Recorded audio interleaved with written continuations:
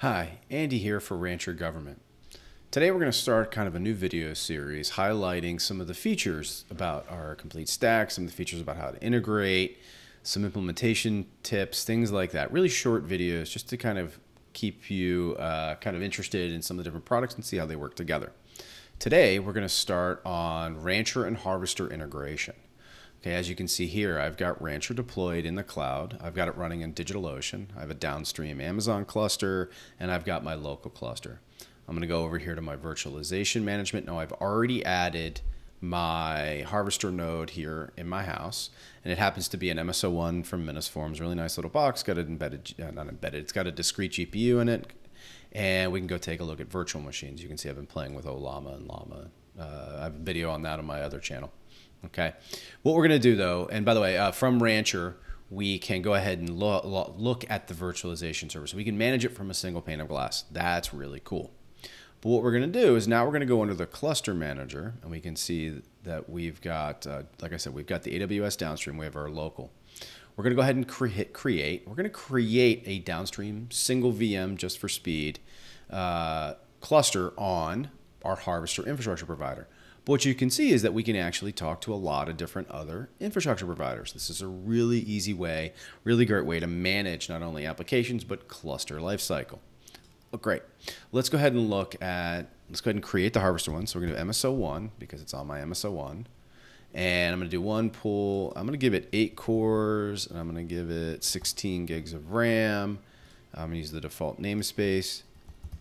I'm going to use the Rocky user only because I know I'm going to be deploying with the Rocky 9.4, give it 80 gigs of disk. I'm going to use VLAN 1. And by the way, notice all this information is getting picked up by Harvester. If you're in an AWS environment, you have those options. If you're in DigitalOcean, you have those options. Okay. Here, underneath the cluster config, I can go ahead and set versions. I can set the cloud provider. I can set the networking. I'm going to pick Canal because it's a little bit easier, I think. It's a little simpler um, and it'll come up quickly. But you can see all the different configuration options we have for the cluster itself. In a future video, I'm going to show you how to do it using a Helm chart and our continuous delivery tool called Fleet. Okay, one node, single pool. Oh, by the way, notice we could create multiple pools. So that's control plane, workers, you know, regions, availability zone, things like that. You have the ability to kind of create that uh, logical separation. But in this case, I'm going to go ahead and hit create and error. Oh, MSO1 already exists because I was playing with this earlier. So let's go ahead and call it MSO, we'll call it demo.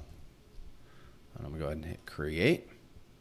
And now it's gonna go ahead and create that downstream cluster, or AKA the single node. And usually takes about 15 to 35, 45 seconds for Rancher in the cloud. Mind you, Rancher DigitalOcean to tell Harvester, which is in my closet over there, to go ahead and build the VM and start deploying. Boom. Now we have it deploying. We can then uh, kind of highlight, and while this is loading, usually takes about five to seven minutes, but I'm going to use my AWS cluster just to kind of show you some of the highlights.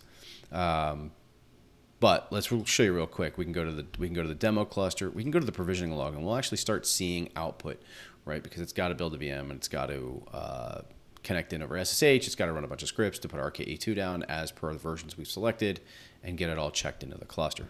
So we'll come back to this in a second.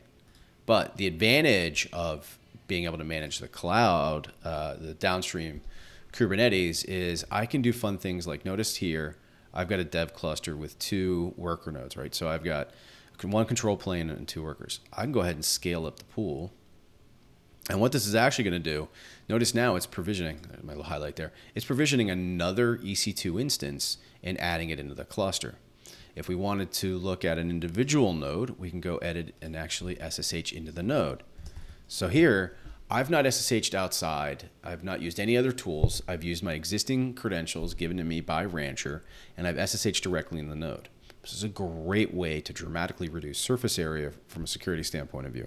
It's also a great way to give developers access to things that they may not necessarily need or have um, very easily, right, again, through RBAC.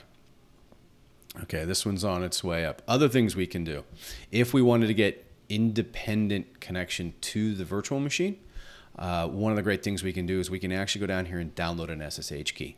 So we talk a little bit about separation of duty.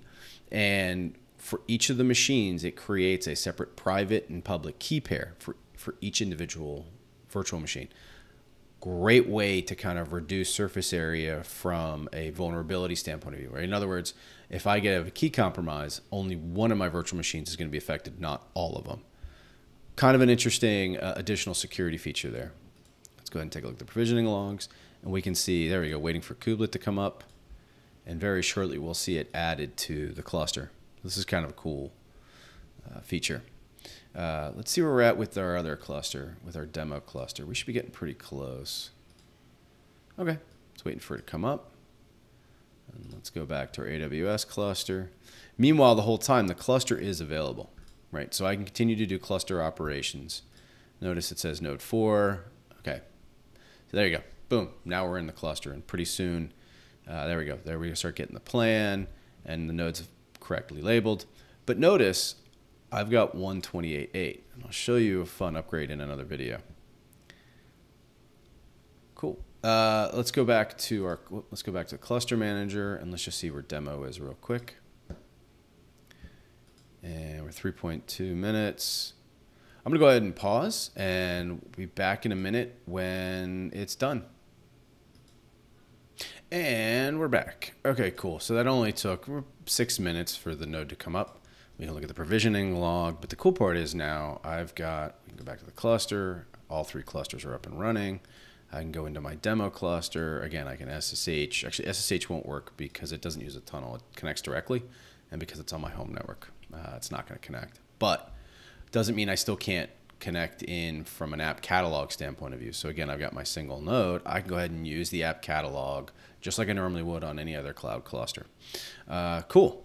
I hope this was informative, kind of show you at least uh, kind of a fun feature about Rancher multi-cluster, talking to Harvester as an infrastructure provider. If you have any other questions, please comment, like, subscribe, and share, and let us know how we can help. Have a good one.